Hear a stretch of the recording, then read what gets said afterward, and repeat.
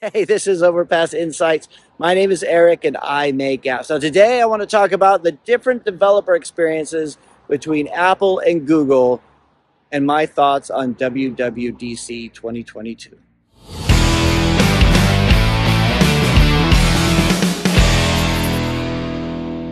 Hey, good morning. So, yesterday I did a video about how gloomy the weather was here in England. And today, as if by magic, it is glorious. It is a glorious sunny morning.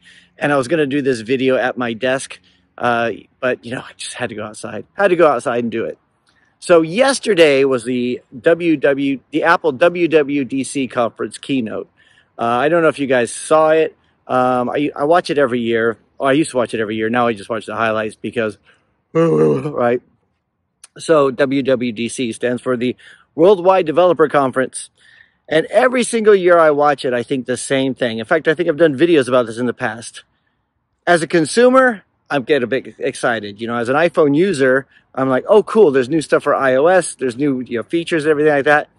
But as an Apple developer, as a developer who does apps for Apple and for Google, I think, how does this help me? Right? You know, it was like, and I'm not going to go through the, some of the new features because they're, they're, all kind of, you know, I wasn't that impressed with them. There's a new M2 chip for the uh, the MacBook Pro, the MacBook Air, and the MacBook Pro. There's a few iOS changes, but nothing really, as a developer, that excited me, or no real announcements of any new APIs or anything like that. So as a developer, I'm just kind of like, you know, okay, cool. Like maybe a client might come through forward and ask. I mean, I, you know what? It was all stuff like, you know spotlight and stuff like that. I mean, just I don't know. It's almost like they they don't really think about the developers at all, which makes sense. Now you compare that with Google I/O. Google I/O is a completely different thing. If you watch a Google I/O uh, conferences or the talks, um, it's all about the APIs. It's all about what you can do as a developer, right? The audience is all developers. It's just really, really, it's just a different experience.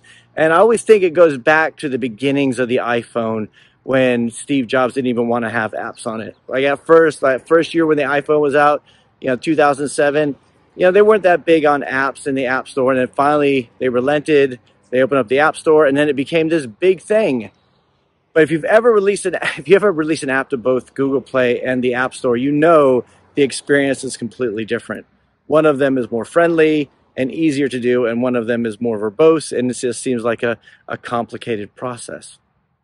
But every time I talk about that, people say like, that's why I only do Android, which kind of makes. Actually, Google Play is getting more and more difficult every single year. I mean, for those of you guys just starting now, should have seen how easy it was back in like like 2013, 2014, back when I got started.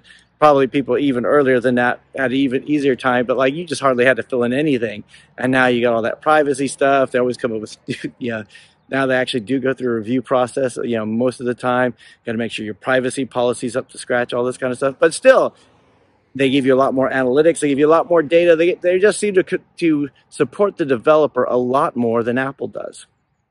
So when people say, well, that's why I'm only an Android developer, I think, yes, but all the money's over at Apple. Like if you could get through it, you know, if you could, you know, I think, I always think it's a mistake if you only support Android. If we only support one of the platforms, uh, you know, if you if you do have a, and that's why I like cross-platform frameworks, uh, because you know I don't want to just I don't want all my users to be on Android. I don't want all my users to be on iOS.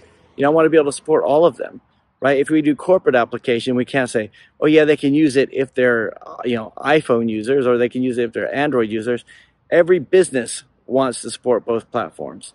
And you know, if you're a developer that only does one, or you can only do, uh, you know, then you're only worth half of what a, a cross-platform developer would be worth. And that's why you see a lot of corporate stuff go Xamarin, go Flutter, go everything like that.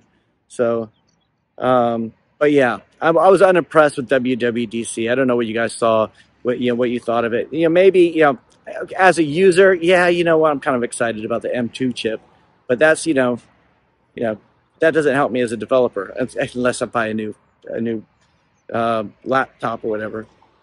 So, but this is a really quick video today. Just get outside. You know, let me know what what do you guys think about? What I mean, did you watch WWDC? What did you think of it? And more importantly, how do you find the treatment you get as a developer differs between Apple and Google for those of you guys who have released to both platforms. Anyway, that is it for today. Hope you guys having a great day. I'll talk to you next time.